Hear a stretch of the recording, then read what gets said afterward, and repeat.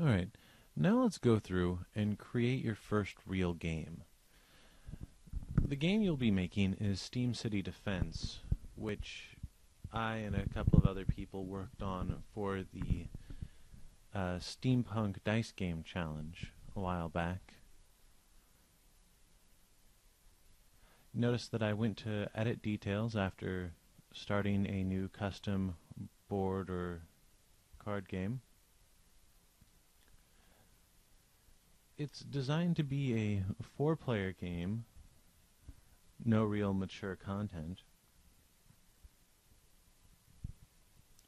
I'm putting in a price of $14.99 as a placeholder for now. Later that will turn out to be wrong.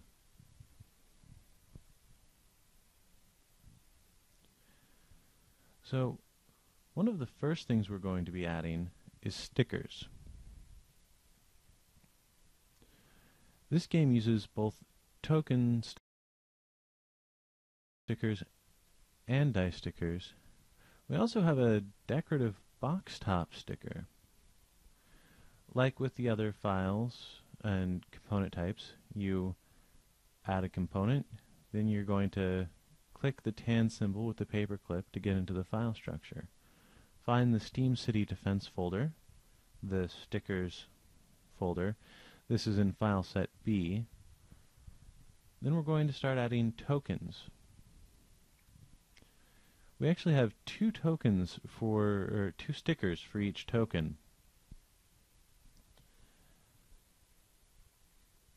One for the front and one for the back. But we're going to have to make those individually, unlike, say, the shards, which are designed to be double-sided. The trim lines here, like the trim lines on the playing cards, show you what you're going to lose of the image. The blue area you'll keep theoretically, but it's there in case the printing gets off center so you don't lose the important part.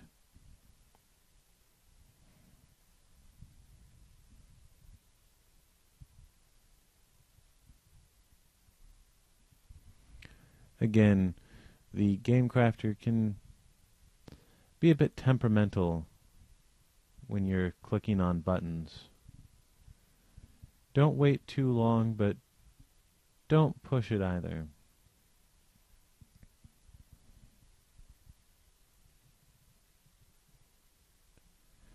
You need to proof each image that you use individually.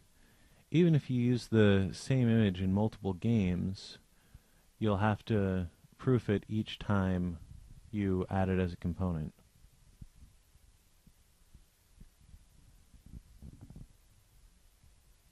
So there are six types of tokens with two faces each. So 12 tokens added one at a time. It can be a bit tedious, but under the old system, it was the only way to go about things.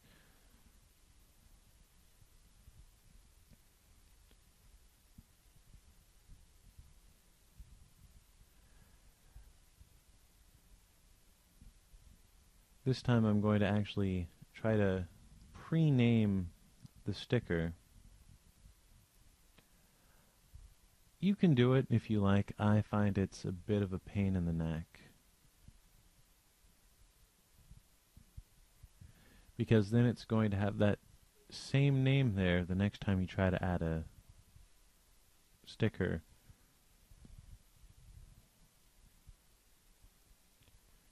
You may have noticed the turn print color filter off. I played around with that a bit on the first token.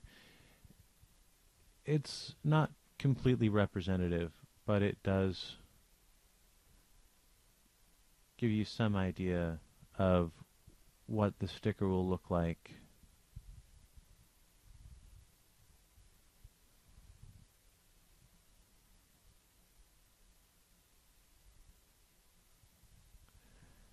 See, I deleted the name there, but now I'm just going to have to add something else. It's perfectly fine having a default name or even the same name for multiple components. But it has to have a name for the component.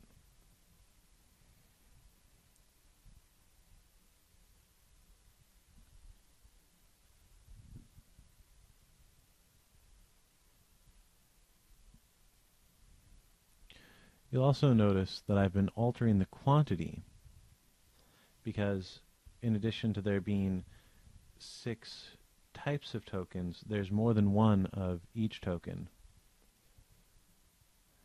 Though actually, Steam City Defense only uses four of each type of token. So choosing the folder that I'm doing now is choosing a folder for importing tokens. That's a mass upload. It will name the token based off the file name of the picture, and it will find any picture of the appropriate size. You'll notice a couple of things. One, there will be an error message if it encounters an image of the wrong size. We won't have that here because the folder was properly sorted. You'll also notice that it will use an image even if you've already uploaded that image. So if you're going to do a mass upload or importing of files from the file structure, just go ahead and do that from the get-go, because otherwise you're going to have to go through and delete the pieces that you've already put up.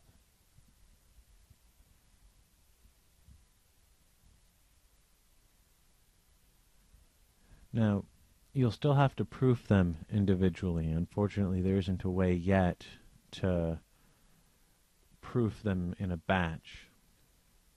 You'll notice I'm adjusting the quantity this time, four of each. I could actually do more because there will be more token stickers printed on the page than what I'm using. Uh, I could also leave the token stickers blank, drawn them with markers, keep them around for future projects. Uh, generally, I would prefer to print a couple extras of each so that people have spares if they wear off or if a mistake is made when they apply them.